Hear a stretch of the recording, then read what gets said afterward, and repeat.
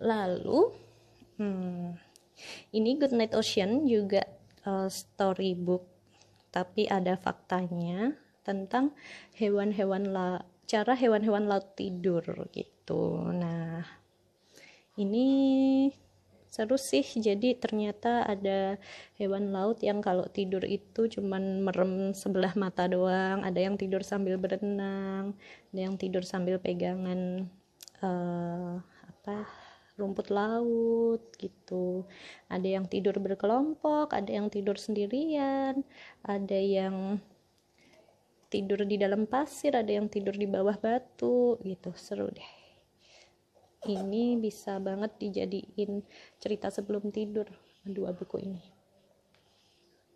Lalu ini juga storybook. Open up please. Nah aku kasih lihat dalamnya ya. Nah tapi ini kertasnya agak tipis. Jadi sebaiknya memang untuk anak-anak yang fine motor skillnya udah bagus fine motor kontrolnya udah bagus gitu ya. Karena kalau anak-anak yang masih misalnya satu setengah tahun ke bawah masih terlalu brutal gitu gerakan tangannya gerakan jarinya nanti jadinya gampang robek. Oke jadi aku selalu memulai ceritanya open up please aku selalu mulai ceritanya dengan berhitung bersama Ambun ibu punya enam kunci ayo kita hitung satu dua tiga empat lima enam lalu kita menyebutkan warnanya. Warnanya ada kuning, merah, biru, pink, hijau, dan coklat. Nah, nanti kita cari pintu yang warnanya sama dengan kunci ini ya, gitu. Nah, di sini itu ada hewan yang harus kita selamatkan, gitu. Kita bantu untuk buka pintunya ya, kita cari kunci warna coklat, lalu kita ke sini, Embun akan pura-pura ambil kunci warna coklat dan pura-pura membuka ini. Ceklek, ceklek. Dan waktu dia buka, oh ada tikusnya nah ini tuh mungkin si penulisnya maksudnya adalah si tikus ini berbilang e, terima kasih gitu tapi karena aku menganut yang uh, hewan tidak boleh bicara kalau di buku jadi aku membuat yang bilang terima kasih ini tuh ibu. Karena ibu minta tolong Embun untuk membukakan pintu untuk tikus. Jadi pas Embun mau membantu tikus ini ibu bilang terima kasih sudah membantu ibu membukakan pintu untuk tikus gitu. Lalu ini ada kelinci. Ini ada tupai.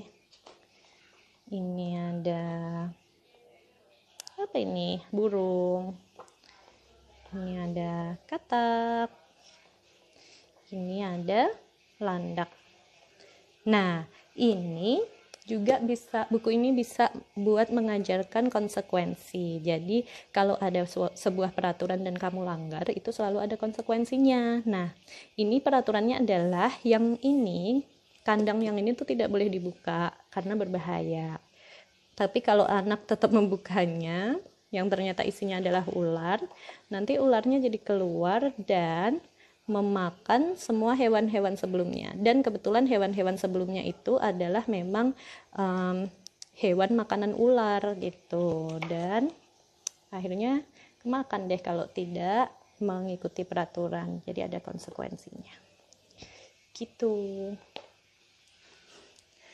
Oke, ini dari tahun lalu juga um, waktu itu Embun sudah uh, udah bisa warna satu-satu warna gitu warna primer.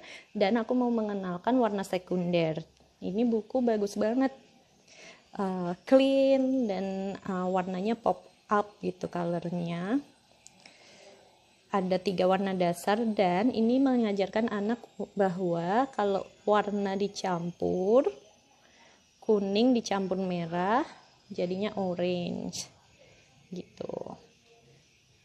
Merah dicampur biru jadinya ungu. Gitu. Nah ini serunya adalah selain uh, seru untuk dibaca seru juga untuk dipraktekkan. Jadi aku akan menyediakan uh, air dengan pewarna makanan di dalam tiga mangkok gitu terus disediakan satu gelas kosong dan dia bisa mencampur warna sesuka dia misalnya merah sama kuning jadi orange atau waktu ketiganya dicampur menjadi coklat gitu seru sih ini oke okay.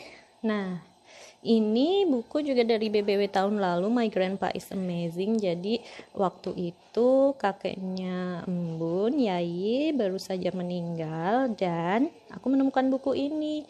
Uh, nitip sama adikku ini kebetulan mukanya mirip banget sama Yai. Terus uh, pas beli buku ini dibaca cukup mengobati kekangenan Embun sama Yai karena uh, kebetulan memang uh, yang dideskripsikan dalam buku ini tuh yai banget gitu yang uh, dia yai suka bikin jus kalau di rumah terus uh, dia jago manjat-manjat uh, pohon dan tempat-tempat yang tinggi dia suka merawat tanaman gitu.